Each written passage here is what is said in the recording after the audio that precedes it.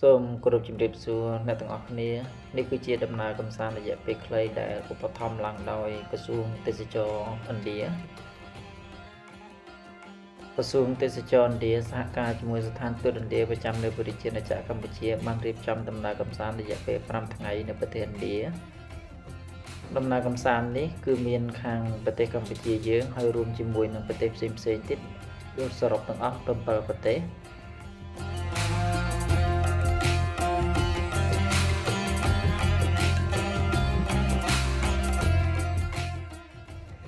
នេះគឺជាការស្វាគមន៍ដែលរៀបចំឡើងដោយក្រសួងទេសចរឥណ្ឌាសម្រាប់ជ័យលាភីហើយនិងអ្នកអមដំណើរមកពីបណ្ដាប្រទេសផ្សេងៗ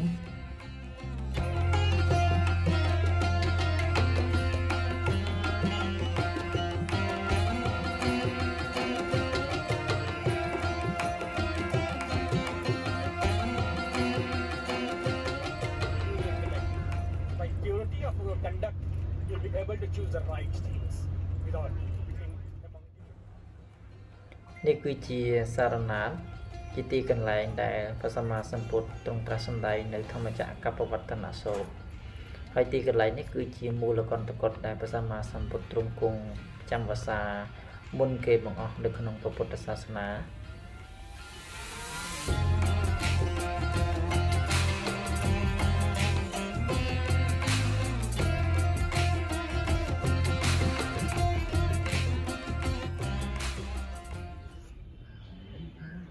ធម្មេកស្ដូបនេះក៏សាងឡើងដោយប្របាទអសោកដើម្បីរំលឹកដល់ទីកន្លែងដែលព្រះសម្មាសម្ពុទ្ធទ្រង់ត្រាស់សម្ដែងនៅបឋមទេសនាគឺធម្មចក្រកបវត្តនសូត្រ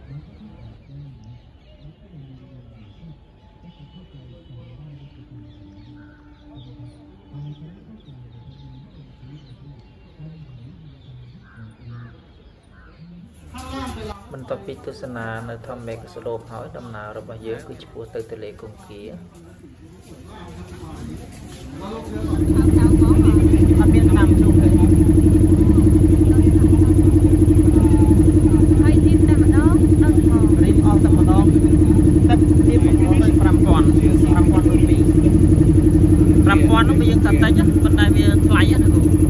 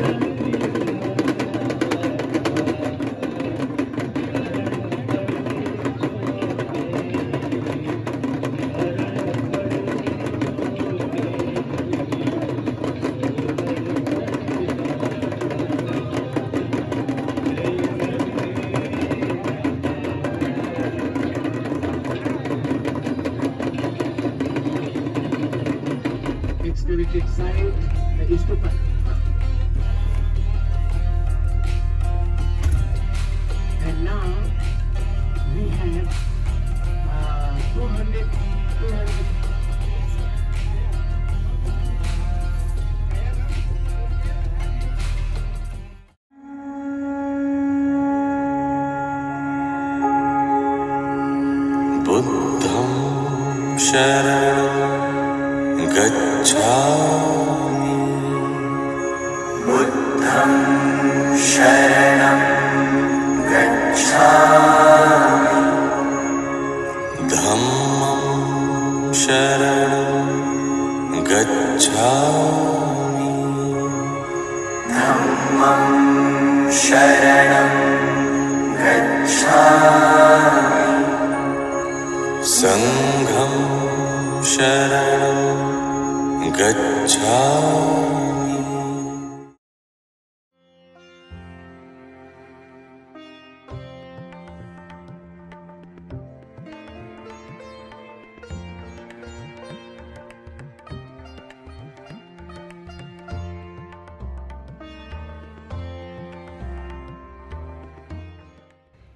ឥឡូវនេះដំណើរទស្សនកិច្ចរបស់យើងទាំងអស់គ្នាបានមកដល់សាកលវិទ្យាល័យនីលន្ទាដែលជាសាកលវិទ្យាល័យចាស់បុរាណមួយ នៅក្នុងប្រទេសឥណ្ឌា century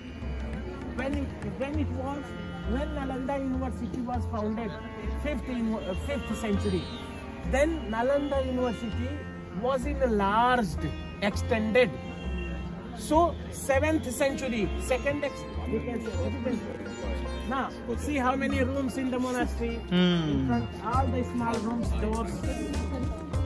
Similarly, walls.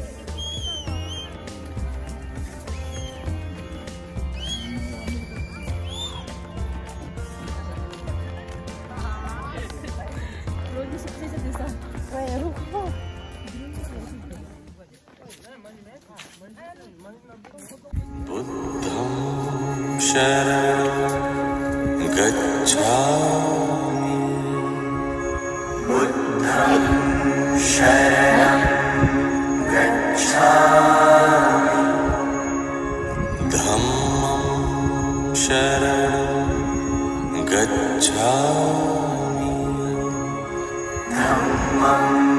शरणं गच्छामि। सङ्घं शरणं गच्छामि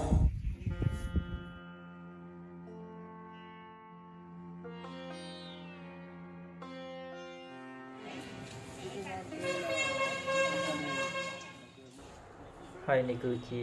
ទស្សនភាពទាំងស្រុងនៃវត្តវេលវ័នដែលជាវត្តកើតមុនគេបង្អស់នៅក្នុង ព្រះពុទ្ធសាសនាកសាងឡើងដោយព្រះបាទពុទ្ធិសាឧទ្ទិសថ្វាយ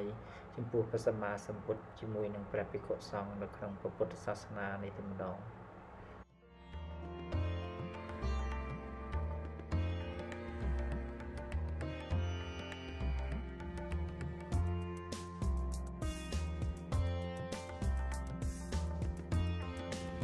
បន្ទាប់ពីដំណើរកំសាន្តនៅទីក្រុងរាជក្រឹសហើយ ដំណើររបស់យើងទាំងអស់គ្នាក៏បានមកដល់ក្រុងវេសាលីហើយទីកន្លែងនេះគឺជាទស្សនវិជ្ជារួមនៅទីក្រុងវេសាលីដែលជាទីកន្លែងព្រះសម្មាសម្ពុទ្ធទ្រង់សម្ដែងនៅរតនសូត្រ